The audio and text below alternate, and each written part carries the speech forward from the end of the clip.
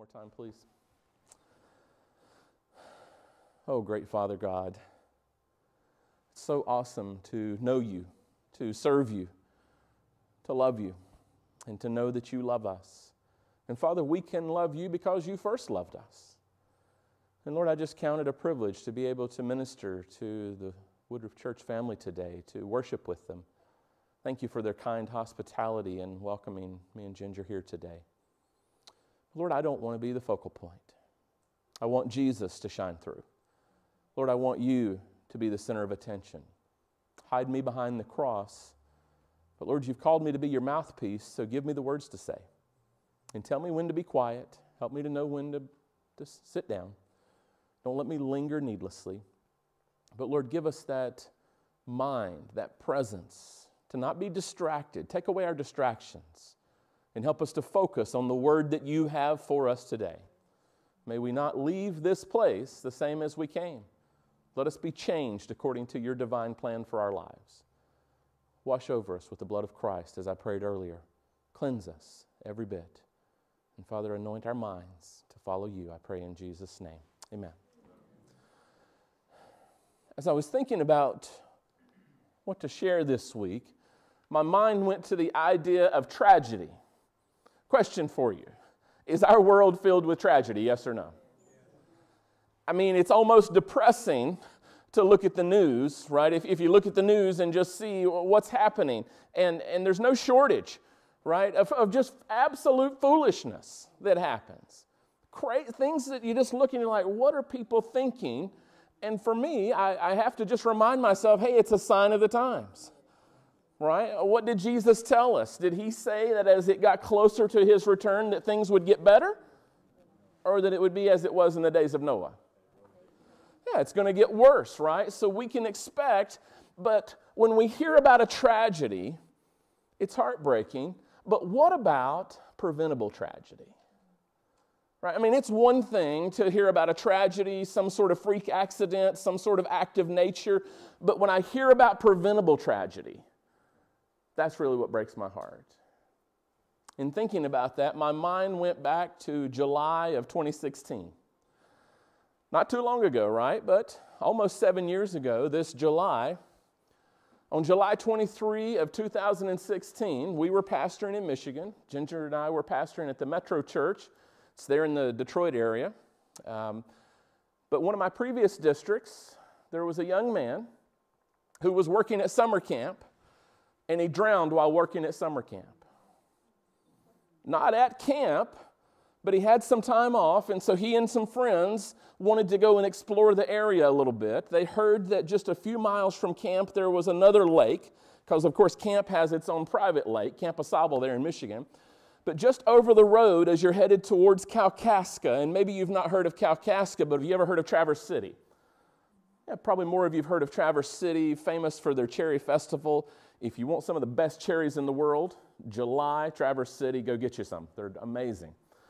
But there's a lake on the way to Traverse City, and these kids went exploring, and they decided to take a little bit of snorkeling gear to see if they could see anything in the lake. One of the young men was not able to swim. How wise is it to go out and get into the lake when you don't know how to swim? Depends on what you do, right? Now, if I, if I go out and I'm waiting around, I'm probably relatively safe, yes or no? Are you with me, saints? But what if I do something that distracts me, like putting on a snorkel mask and tube? And I start kind of trying to swim around, right? Because the body is kind of naturally buoyant, right? You kind of naturally float. So he's kind of just snorkeling around, trying to get the hang of it, doesn't know how to swim. Before he realizes what's happening, he's gone beyond his ability to stand up, finds himself in trouble. The others are distracted doing their own thing. And unfortunately, George drowned in shallow waters. Something totally preventable. How do you think his parents felt? Talk to me. How would you feel? Right? Again, something totally preventable. Not some sort of, you know, a congenital heart defect or something that you didn't know was there, and boom, it kind of surprised you because you're playing a game of basketball or something. We see those things happen. Tragic, but you didn't know it was there, so it wasn't really preventable because you didn't know about it. This was completely preventable. And a young man, 19 years of age, lost his life because he drowned in shallow waters. Heartbreaking. The only solace, really, that we have from this is that George was known to be a young man who loved the Lord. Praise God, there might be a hope that we see George in the future at the resurrection. Amen? But I'll tell you, as much as I appreciate that knowledge, I'm not in a hurry to get rid of the people I love just because I get to see them in the resurrection. Right? I don't, I don't, I, I don't want to lose my wife. Well, if you lose her, you'll get to see her in the resurrection. I still don't want to lose her. But because of this tragedy, we do have a little something to look forward to. But it was preventable, could have been avoided. I'm thankful for the wonderful promise. But what if George had just said, you know what, you guys go do your snorkeling, but I'm just going to splash around here at the shore? I'm just going to explore nature. He would often write put his Facebook postings or whatever. He enjoyed nature. He loved being in God's second book. But now a family has lost their eldest son because he drowned in shallow waters. I want you to do a mental exercise with me. You see, one thing that we like to do as humans is we like to revisit things, and we like to, and maybe some of you do this, don't raise your hands yet but how many of you are overthinkers? Do I, do I have any overthinkers? I've got one sister here, she just dying to confess. Save me, Pastor. Sometimes we're overthinkers, right? And we'll, we'll have something that happens and, and we go back over it and over it and over it and over it. Psychologists have a special term for that. It's called rumination. Now, that might sound a little weird. Some of you are probably thinking, wait a minute, isn't rumination what cows do? It's true, right? Some people, I've had people tell me, well, cows have four stomachs. No, they don't. What cows have is one stomach with four compartments, and, and this is amazing. We're going to get this out of the way early so that we're over it before potluck, okay? I want, I want to make sure I process this with you and we move past it. But a cow's stomach has four compartments, and what they do is, is they, they, they try to digest it in that first compartment, then they throw it up, they regurgitate it, if we're going to use medical terms. They chew it again, and then they swallow it back into the next compartment. And how many compartments do they have? How many times do they do that? So you chew it up, swallow it. Oh, so, so that's, that, that is also the process of rumination, but it's that process that then got applied to a mental activity. Do you know anybody that holds on to things? My sister here's already, she, she said, Free me, Lord. I, I need to be freed today. I'm a ruminator. Here, here is how the American Psychological Society actually defines rumination. Check this out obsessional thinking involving excessive, repetitive thoughts or themes that interfere with other forms of mental activity. So, in other words, right, I'm so focused, I'm, I'm so honed in, I'm, still, I'm, I'm just bogged down on this thing that I put my blinders on and I can't see what else is happening around me, and it actually robs me of life because I'm not able to focus beyond that point. Here's a mental exercise I want you to do with me. How many of you can imagine a circle in your minds? Okay, nobody. I'm in the wrong church. I was going to say, did anybody here take kindergarten besides me? I had to draw a lot of circles. Okay, so you can picture a circle, right? I'm not trying to set you up for something, but just imagine in your mind two circles. Are you with me? Okay, and in our mind, we have these two circles. Have one over here, they're separated by a little bit, and you got another circle over here. In this first circle, the one in my right, your left, I want you to mentally think about things in your life that you cannot change. Give me an example of something in your life that you can't change. It doesn't have to be personal. I'm not trying to get up in your business. Your age. Height or lack thereof. So the second part of her statement told me how she feels about her height. Right? Say, I heard a good one. We're past. I can't change it, right? So, how many people, though, let me, let me just take each one of these. How many people do you know, though, they get upset about their age?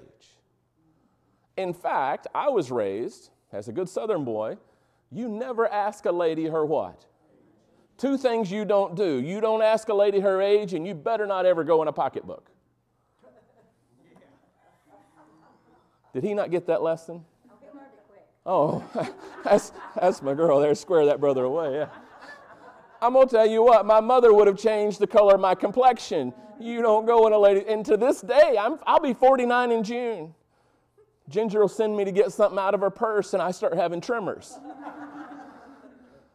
Not doing it. But you don't ask a lady her age. Why? why? Why, why do we get so worked up about that? Why is it not a blessing that you managed to live that long? I mean, listen, I'm excited about telling people when I turn 50, I'm half a century old. That just sounds cool, Bruce. Robin, to, I mean, to me, that sounds cool. You say, well, you're a fool. Well, let me prove it. But I can't change my age. And if I really consider every day, every year of life a blessing from God, why would I be upset that I'm getting older? Right? Now, height. I don't want to ask you how tall you are, how short you are. So you're on the decline there. I hear you. Well, at my peak, I made it to five, seven and a half. Half, don't you forget my half. I eked out that half, I'm going to take it, right? But there's changes that happen physiologically. What can I do about it? Why would I worry about it? Why, why would I let that be something that bothers me while I'm short? Well, and, and my problem, not only was I short, for the longest time I was way too fat. And I would joke about it and say, listen, I'm not too fat, I'm just too short. So I'd blame one on the other. And I used to, I used to blame the dryer for shrinking my clothes. Found out it was the fridge doing it. Did you know that? Dryer had nothing to do with it. It was the fridge the whole time shrinking my clothes or what I shoved in my face from it. My sister back, was it you that said you're past? Why would I obsess over it? Why would I? Now, let me be fair, right? I don't want to just lay a blanket statement. If there's some things I've done in my past that I've not taken steps to rectify with other people, then maybe I need to go back and revisit some of those things and, and work through that right? If I've, if let's say I lived as some sort of hellion and laid a trail of bodies behind me, then I get converted. Bruce, you mentioned that process of sanctification in Sabbath school, right? You said you weren't the same person as you were. Praise God, I'm not either.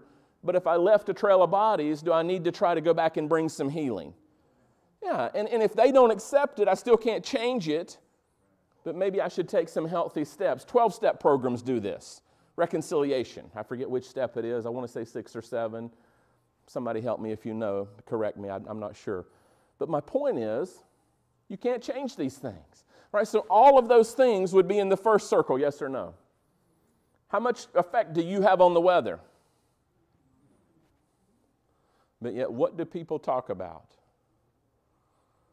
My wife loves to ask me every morning, How cold is it? How hot is it? How many times have I had to tell you, I don't care? I don't. If it's hot, I'm not going to wear a coat. If it's cold, what am I going to do? Maybe wear a coat. But I can't change it. But yet, how many people worry? We lived in Michigan for a little over 14 years. People would worry about oh, is it going to snow? Well, you're in Michigan, it's highly likely. There's a weather system moving through that has a lot of moisture. There's a lot of cold air in the upper atmosphere. It's highly likely. Who cares? Plan for it. Move on. Well, we did that too. She said, move out. Ginger's just, amen. we loved our folks in Michigan. She did not care for the weather. She's happy to be back in Carolina. My whole point is, saints, There are all of these things, right? We could go through and create this ever growing list of things I can't change, but yet how many people spend brain power? How many people spend mental energy focusing on things they can't change? What are some things you can change? Right? We're, we're leaving this circle over here. Now we're going to this circle, and we're going to list some things that we can change. What would fit into the circle that can change? Oh, mercy. Attitude. Anybody ever heard of a motivational speaker by the name of Zig Ziglar? I don't know a whole lot about uh, Mr. Ziglar, but I did hear one of his speeches one time where he recommended that there could be a cure for stinking thinking. Right? He, he said some people end up with stinking, what was it? Thinking. And he said the only cure for stinking thinking is to get a checkup from the neck up. That really stuck with me, right? How many of you have met somebody who could have used a checkup from the neck up? How many times was it you? can change my attitude. How many times have we prayed for a situation to change and we ask God to change other people, but we don't have a willingness to change ourselves? I'm just, I'm just trying to be a little transparent and I'm not putting you in some sort of boat that I'm not in with you. Right? I've done the same thing. I've had stinking thinking. In fact, sometimes I still do. Ginger has to help me. Sometimes she gets it. I have to help her. We have to love each other enough to address stinking thinking. What's something else I can change? My attitude, very good one. It was on my list. Say again? Habits. I love the science of habits.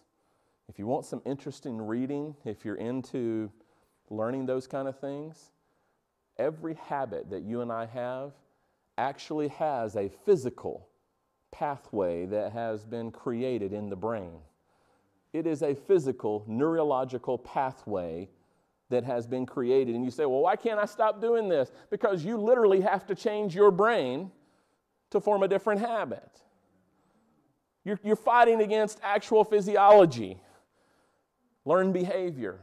But if I surrender that to God, can He give me victory over my habits?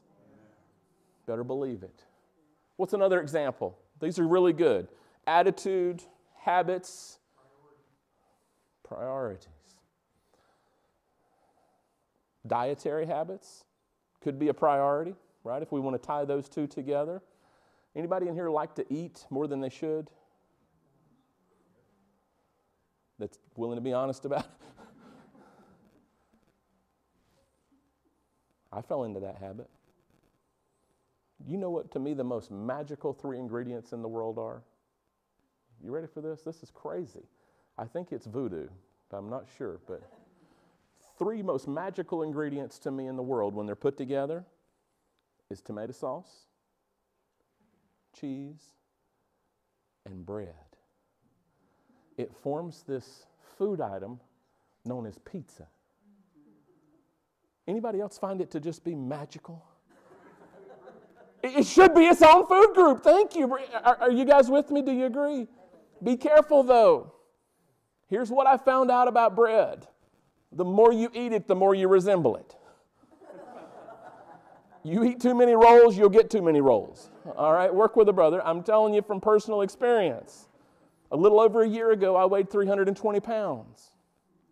And when you stand five, seven and a half, that's too much. Yes or no? Started making some changes. Lost about 80 pounds. Praise God. I had to put that in my circle of things that I could change. But sometimes we fall into these habits that bring us down, that cause us to fail, and they cause us to fall into things that are completely preventable. And we find ourselves drowning in a number of ways in shallow waters.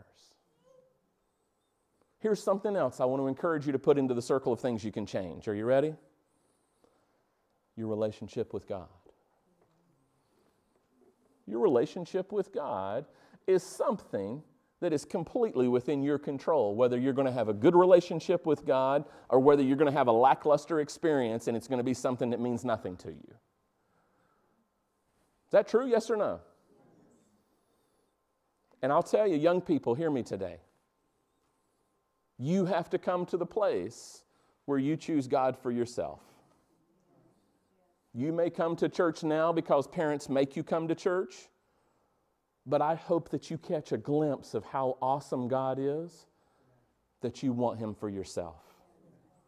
That you don't just say, well, man, I can't wait until I get old enough to where nobody can force me to come to church. Start asking now, why is Jesus worth following? Start asking now, what is so special about Jesus that these people want to give up all the freedom that they have to chase the things of the world and they want to follow Jesus? Ask, why is he so amazing?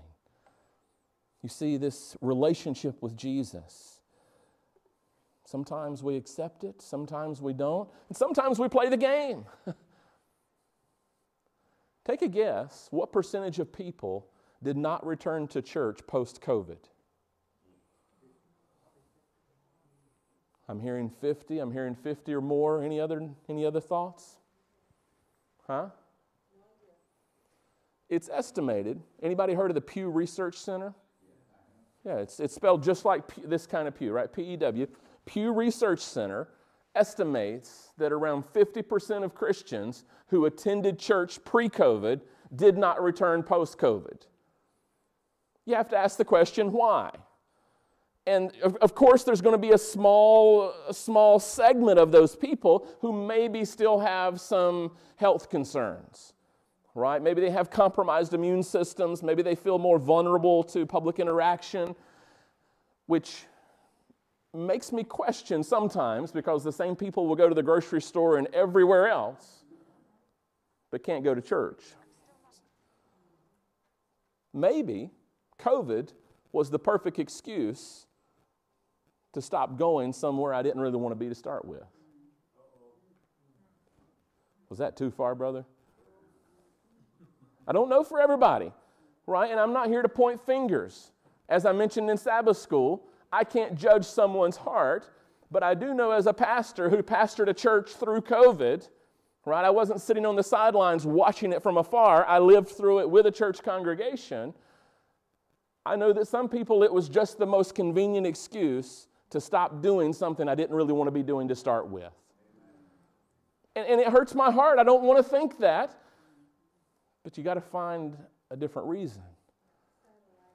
Well, satellite, and, and there are some people, right? Hey, they're worshiping online. You see my wife filming my sermon today. I record my sermons. I edit them a little bit, put a little splash screen on them, and I post them on Facebook, Instagram, and YouTube. So if you're having trouble sleeping, go find some of my other sermons and I'll help you sleep better. I'll get you there. I'm not against online, I'm not against digital media, I'm not against reaching people with these things, but you cannot replace direct fellowship with people. At some point, you've got to have interaction with people, other people, and we have an epidemic the pandemic was replaced with an epidemic of loneliness in this country. We were already feeding it because we spend our time looking into devices instead of talking to each other.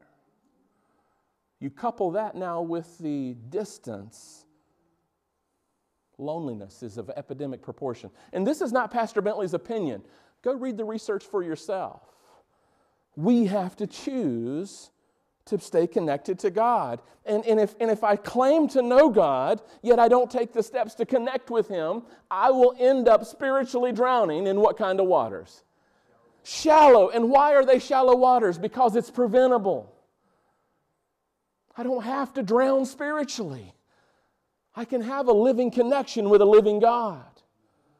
You say, well, how do I do it?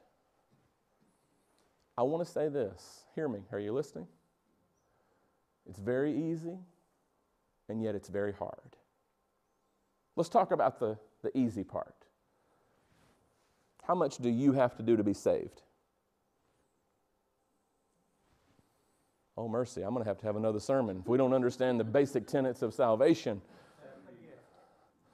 Okay, so I, I heard, and I don't remember who it was because you were behind me during Sabbath school, but I heard somebody say and, and maybe it was during the opening, that we are not saved by works. We're, and Jerry, maybe it was you. I think you were the one quoted it now that I said it. Just say it again for us. We are saved by what? By grace, not through faith. Not by works, lest any man should what? We're saved by faith. How hard is it to be saved? Jesus did all the heavy lifting. He's the one that went to Calvary, yes or no? He's the one who felt the accumulated weight of sin and died the second death for me. He did the heavy lifting, saints. Salvation's there, it's free, it's yours for the taking. Anybody in here 15? Do I have any 15 year olds? You guys close? Getting close? Okay.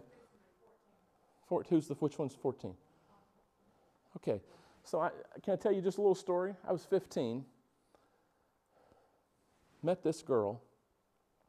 I, I was really smart because I chased her. It's the only thing I can credit. I had sense enough to follow Ginger. I tried to invite her to a Friday night dance.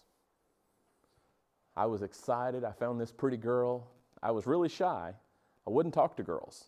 You don't believe that, but I was really shy. I got over it, but I was really shy. But I finally got the courage to ask somebody else for her number because I couldn't just ask her, that'd be too direct. So I stalked her around the school, got her number from somebody else, called her up, said, Hey, would you like to go to this dance? She said, No, my parents won't let me. Well, why not? I almost had to beat it out over that she was an Adventist. I had no idea what an Adventist was. But I found out that if I followed her to church, I got to spend more time with her. so God was leading me into a path where I could have some interactions with him. I had this other guy at school that I was friends with, a guy I met at school. He and I, anybody ever heard of Future Farmers of America? FFA Club? I joined FFA because I wanted to learn how to weld. So joined the club and I met this kid in there. His family ran a dairy farm and he attended a local Baptist church. He showed up to my house one Saturday. I was downstairs sweeping out the basement and he comes up. He's got this 14 year old boy with him named Cody. And he said, Darryl, have you ever given your heart to Christ? I said, What does that mean? So here he stood there as a 16 year old with a 14 year old talking to a 15 year old. And he explained to me what it meant to give your heart to Christ. And he said, We can do it right now. We can kneel in, down in your basement right here. And he said, And I'll pray, and all you have to do is repeat it. 16 year old kid. So we now, I had no idea what I'm doing. But I knew when he described what it meant to be lost, that described me. And so we knelt down there in my parents' basement and I gave my heart to Christ. I didn't know what I was doing, but it started a journey. Right? Yes, that's the easy part of having a relationship with God is recognizing our need of Christ. Amen? Recognizing I can't save myself, recognizing I need His salvation. That's the easy part. But what's the hard part? The hard part is is that we live in a world that hates God. Right? I mean, the, the easy, and they'll tell us you don't need God. He doesn't exist. He's a fairy tale. He's an imaginary person. I can only tell you this the person I was before Jesus is not the same person that I am today. I can't explain how he does that, but all I know is he takes messed up people and he transforms them from the inside out and he finds a way to save lost people. And you and I can choose God. That's the easy part. Now, anybody ever heard of a guy by the name of John Calvin? Maybe you haven't heard of John Calvin. Maybe you've heard of the Presbyterian Church. John Calvin is the founder of the Presbyterian Church. John Calvin had a teaching that is known as predestination. He said this God chooses certain people to save. But if he only chooses certain people to be saved, what is he also choosing for the other people? So it's double predestination, some people will call it. Because if I choose you to be saved, and you to be saved, and you to be saved, and you, the rest of you are just lost. because as God, I chose it and you can't change it. There's something that I don't believe Brother Calvin understood. Anybody remember a verse in the gospel according to John? Comes along in chapter 3, and it might be around verse 16. And it might be tied to verse 17. Anybody remember it? For God so loved those that he preordained. Well, wait a minute. God loved who? God so loved the world that he gave his only begotten Son that the elect. Now, here's what's interesting. Most of our English translations, that's right, whoever or whosoever. The Greek word there is pas, not pus, pas. I want to make sure you get it right. That preacher went out of here saying the Greek talks about pus that saves you. No, no. Hold on. Pas, P A S, it simply means all. God so loved the world that he gave his only begotten Son that all who choose him might have everlasting life. And God sent not his Son into the world to condemn the world, but that the world through him, verse 17 says, they might be what? Saved. How can you miss that? So that's the easy part. Jesus did the heavy lifting. Jesus is the one who saves us. What's the hard part? The hard part is this we live in a world that tells you you're crazy if you follow God. We live in a world where the devil has been very successful at making sin look more fun than following God. Isn't that what he does? Essentially, that's, that's what we see. Why, well, why would I follow God? It's just a bunch of rules. Well, let's think about those for a second. We'll skip the first four. Let's just go to number six. Anybody remember number six? See, I'm doing to you what a professor of mine did at Southern. I was a senior theology student. My brain was getting big at that point. I knew a lot of big brain stuff. I come into Christian Theo one day, and Dr. Steve Bauer hands each one of us a three by five card. And here we are, senior theology students, about to be launched into the world of pastoral ministry. He gives us a three by five index card, and he says, Write down the Ten Commandments in order. You would not have believed the wailing and gnashing of teeth that rolled through the classroom that day. And here was his point, and it stuck with me. Don't get so smart learning what you think are the deep things of God, and you forget the basics of who Jesus is. We know the first commandment, right? You shall have no other gods before me. What's number two? If you don't remember, I'll give you a clue that it's in Exodus. It's somewhere between chapter 19 and 21. Okay, no idols, no graven images. Don't bow down to them. Don't worship them. Number three, what should I do as it relates to God's name? Don't take the name of the Lord thy God in vain. I can do that by verbally tearing down God's name, or I can take God's name in vain by claiming to be a Christian and living like the devil. True? Number four, I think you know number four, you're here today. Unless you slept here over the week and just happened to be here for Sabbath. You chose to be here, amen? So, number five, honor somebody. Honor your father and your mother that your days may be long upon the earth. Number six, how should we feel about life? Should we value life? We had to write these down. We had to list these out. I am here to tell you, I'm not bragging, but I got them all. And I praise God that He's put simple things in my heart too. But we live in a world that says it's okay to kill. Right? And I'm not here to get into any kind of political debate. People, oh, well, you talk about abortion, you're getting political. When I talk about abortion, I'm talking about I want to see innocent life preserved. You can make it a political matter if you want to. For me, it's innocent life, and I believe the Bible says we should protect innocent life. I will not apologize for being against abortion. You can hate me later. Don't shut me off. Finish hearing the sermon. But we live in a country that makes it hard to embrace God because life is not valuable, or certain lives are valuable. Am I right? How many of you would affirm with me the statement, Black Lives Matter? Just the statement. I'm not talking about any kind of association with a group. Do Black Lives Matter? Do Hispanic Lives Matter? Do White Lives Matter? Do Red Lives if we're going to just keep going with a color scheme? Okay, yellow, whatever. Brown, pasty white. Thank God pasty white lives matter too. My point is this we live in a society where the devil wants us to be polarized against each other. And he, wants us to value certain people while not valuing the plight of other people. Let's value everybody. Let's treat everybody with respect, with love. Let's not pit each other against one another. It's not a secret and it's not God's way. It's hard to live in this world and be dedicated to Jesus when the world tells you that it's a fairy tale.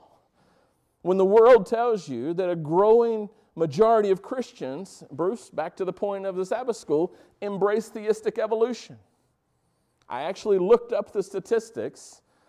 Do you know, again, according to Pew Research Center, 60% of Americans believe that humans evolved over time. 60%. Is that the majority, yes or no? It's the majority. And guess what? About 32% of those would say that, yes, it was evolution, but it was guided by a supreme being. What kind of evolution is that, Bruce?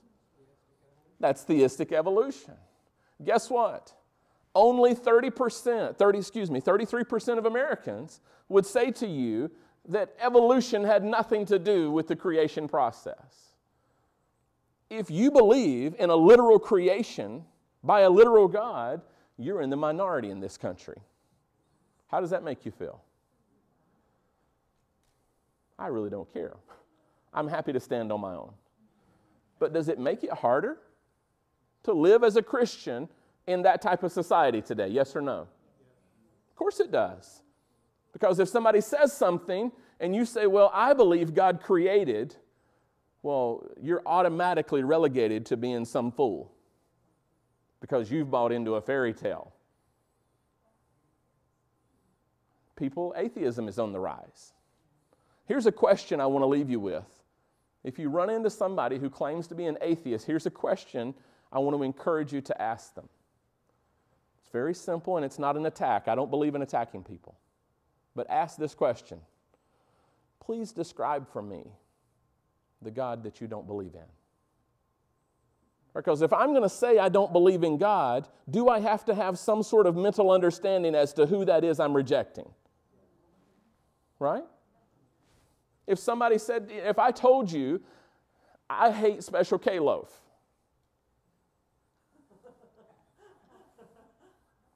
You know what Special K loaf is? Have you been subjected to that? Please tell me. I, I, I, oh man, I should have asked before. We're having potluck today, aren't we? If somebody fixed special K loaf, I still love you. I just can't eat it.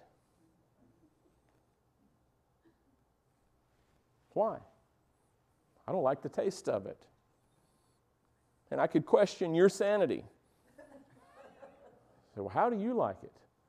Now, listen, I love Special K cereal and I love cottage cheese.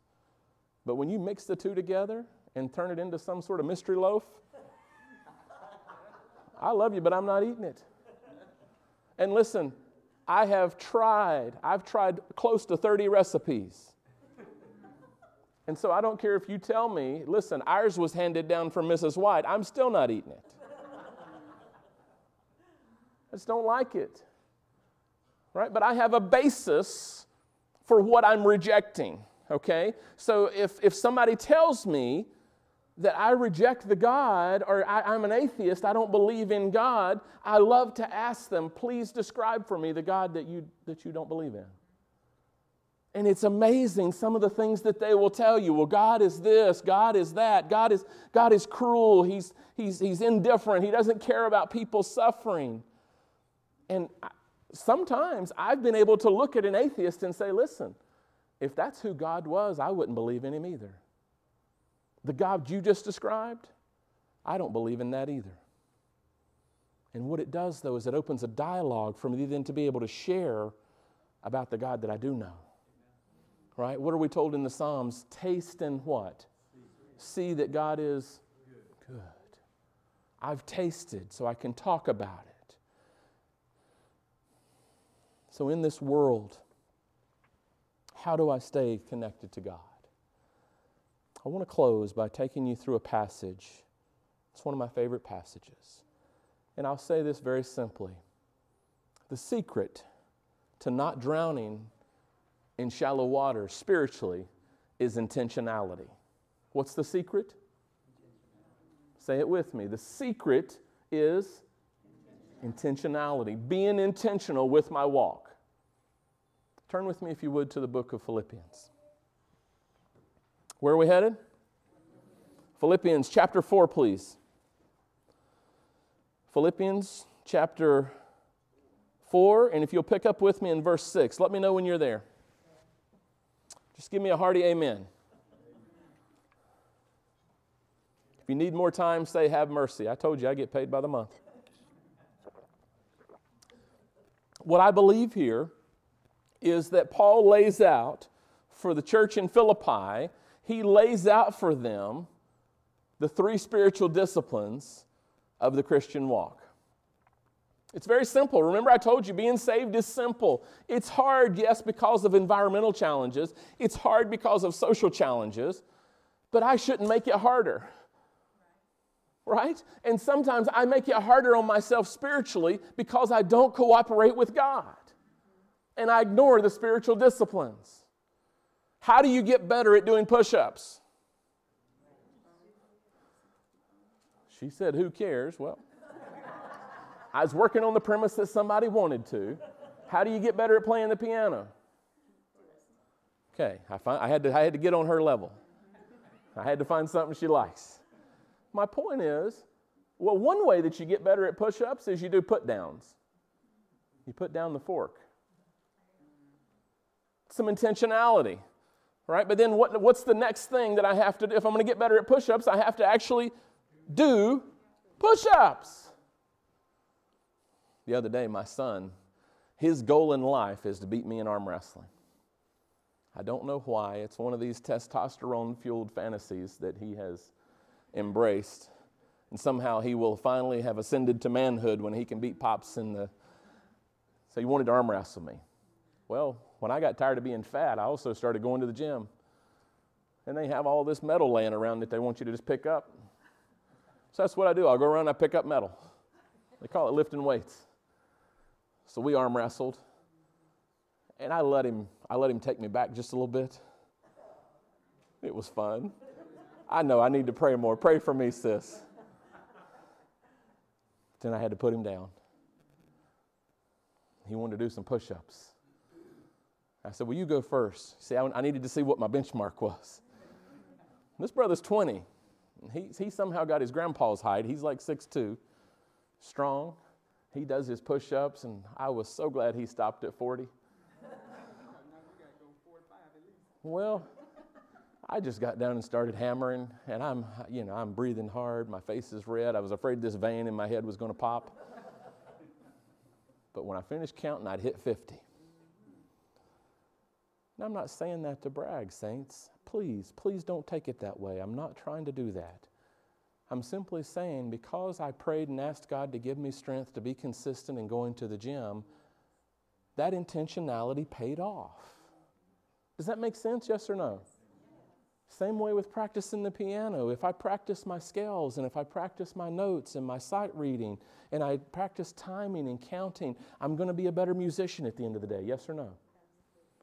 It's intentionality. And in this passage, Paul lays out the spiritual disciplines that if you and I are intentional with them, it sets us up for better success. I'm not saying it's mechanical and we save ourselves, but it puts us in a position to commune with God. And if I'm in a position to commune with God, does that increase my relationship usually? Absolutely. Let's walk through it together.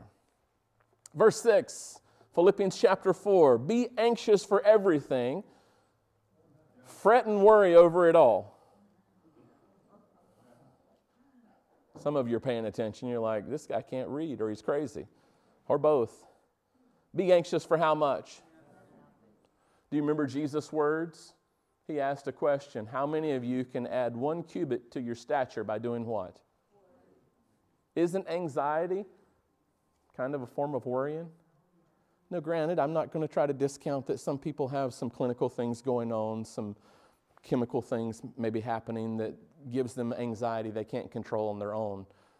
But setting all of that aside, and sis, if we ruminate on it, I told you not to raise your hand and you did, so you gave me permission to pick it. but if I focus on it and I keep coming back to it, have I given it to God or am I still trying to handle it myself? And I want you to notice something here. Check this out. Be anxious for nothing, but in everything, notice there are three forms of prayer that are brought out here. Everything by prayer, and then what's the next part? Supplication. There are actually two different words in the Greek language here. It's a third one when you get to Thanksgiving. So you say, well, what's the difference between prayer, supplication, and thanksgiving? Prayer in general is praying for spiritual things right? Praying for spiritual guidance, praying for my walk, praying for understanding. Supplication, what would you guess is the root word in English for supplication?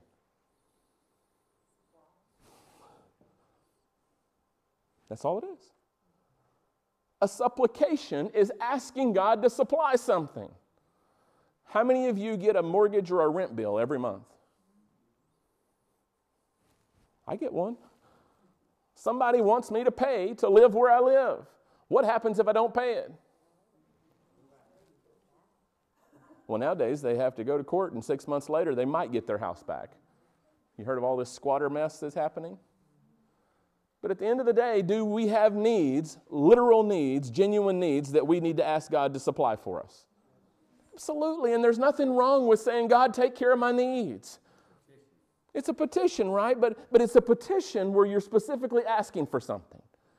And maybe I'm asking for me, maybe I'm asking for you. I shouldn't just focus on my needs. I should focus on the needs of my church family. I heard several of you. I think, sis, you were praying for your family. I heard, was it the Hall family? Somebody mentioned the Hall family. There's some other families that were mentioned.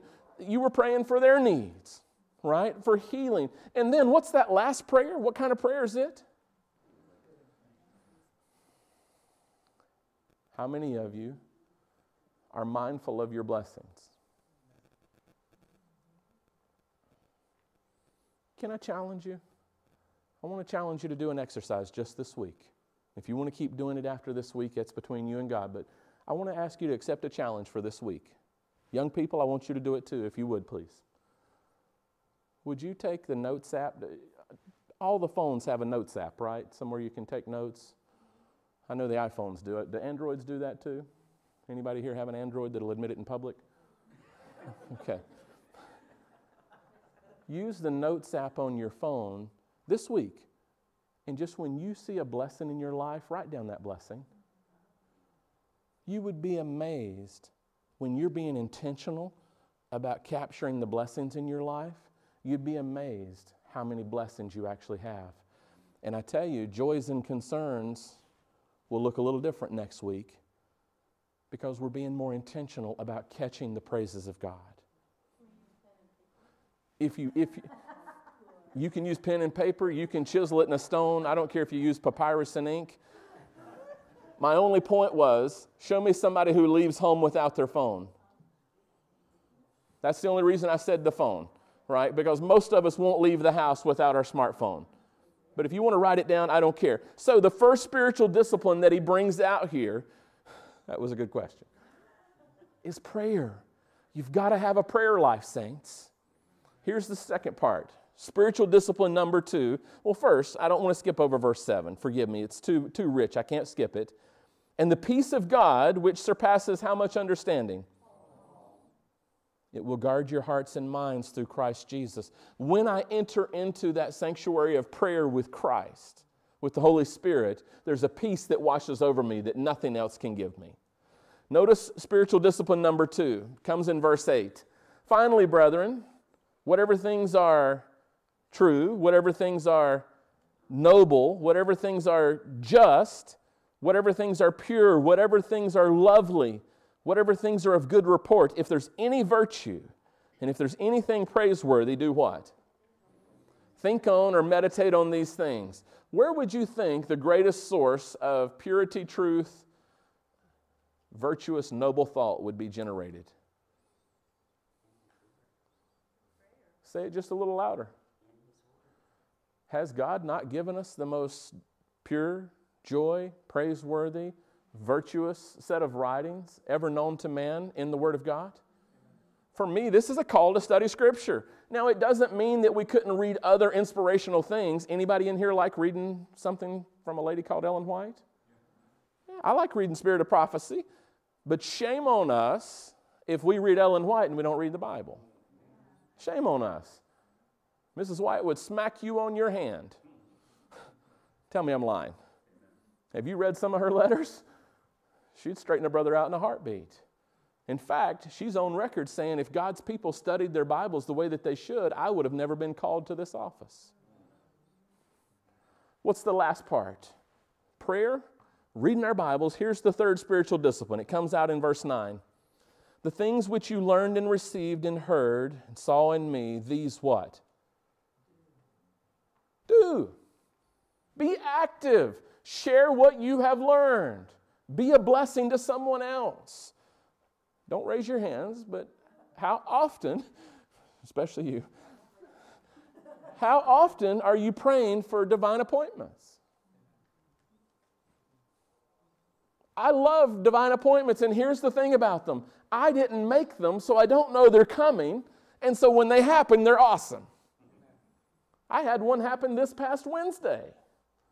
I'd been going since I started going to the gym. I ended up messing up my shoulder a little bit and started doing some PT. It was about my fourth visit, uh, third or fourth visit with my physical therapist. Her name is Molly. Come to find out, she's a Catholic believer. Super sweet, super just personable person, really trying to help me. And but she's, she's she, by the second or third visit, she's asking me questions. This Wednesday, I'm laying face down, and you know those tables with the donut in them? Right? So, so I, am laying, she's got me in a towel and starts asking me questions. So I had to slide my towel aside, but she asked me, she said, Did you study Latin in your preparation for pastoral ministry? I said, No, I did Greek and Hebrew. Oh, really? What kind of Greek? Because in her mind, she's thinking classical Greek. No, it was called Koine Greek, K O I N E. It's the common Greek, it was the common vernacular. Well, I've never heard of that. And she starts asking me, well, what about the Hebrew? And next thing I know, my PT session turns into a Q&A with Pastor Bentley. We ended up, Bruce, all the way to theistic evolution. I don't even remember how we got there. But she asked me, she said, Should Christians believe in evolution? How's that for a question from your physical therapist? I loved it. Jerry, I loved it. And I said, Well, if God claims to be the author of life, why would he use death to create life? And if he told us that the wages of sin is death, but yet death existed before the first sin, wouldn't that make God a liar? She said, You know, I've never thought of that. That was a divine appointment, yes or no? I didn't orchestrate it. I didn't ask for it. I'm laying face down in the donut hole trying to get my shoulder fixed. In closing, where are you today? Where are you spiritually? I can't answer it for you. And maybe you've not assessed yourself honestly enough to be able to answer it yourself. I don't know. But do you feel like you're thriving spiritually? Or do you feel like you're drowning? Do you feel like things are going well in your walk with Christ? Or do you wish that there was more to it? Maybe you have proximity to God, but you don't have connection with God. And my challenge to you is this, saints don't drown in shallow waters. It's going to be those little steps that we can take to be closer to God, and it's also going to be those little steps that take us closer away from God. Closer away, closer from, farther away from God. That's what I'm trying to say. I don't know about you, but I do a lot of foolish things in my own life that I set myself up for failure. And I'm so thankful when God taps me on the shoulder and says, Hey, there's a better way if you'll just follow me. I want to follow my Jesus. I want to have a prayer life. I want to spend time in His Word, and I want to keep having those divine appointments because at the end of the day, I don't want to find myself spiritually drowning in shallow waters. How about you? Can I pray for you? Loving Father, as I think back on the tragedy that struck our friend's family, the loss of their son, Lord, I know their hearts are still tender at that loss. They say time heals all wounds, but Father, ultimately it's your touch and your touch alone that can bring healing. And I long for the day where we see George's resurrection. Lord, you know his heart. You know if that's what he will see next. And I just pray that it is for his sake and for his family. But Lord, here we are today, and we have to make a decision about how we will go forward. We know about you, we're here, we know about the Sabbath, we have some understanding of spiritual things, but Father, maybe our relationship is shaky. Yeah, we survived the COVID shaking, but will we survive the next one? Are we teetering on the edge of separation from you and your people? Are we drowning, as it were, spiritually? Father, today, I pray that you would do as Jesus did for Peter. As the waves were crashing around him, he was about to perish because he took his eyes off Jesus. But Jesus reached out his hand, he rescued Peter and got him safely back in the boat. Father, today we may need that same rescue. Help us, save us. Don't allow us to drown spiritually. Keep us safe with you.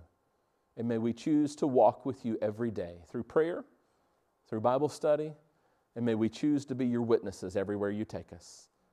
For I ask these mercies in Jesus' name.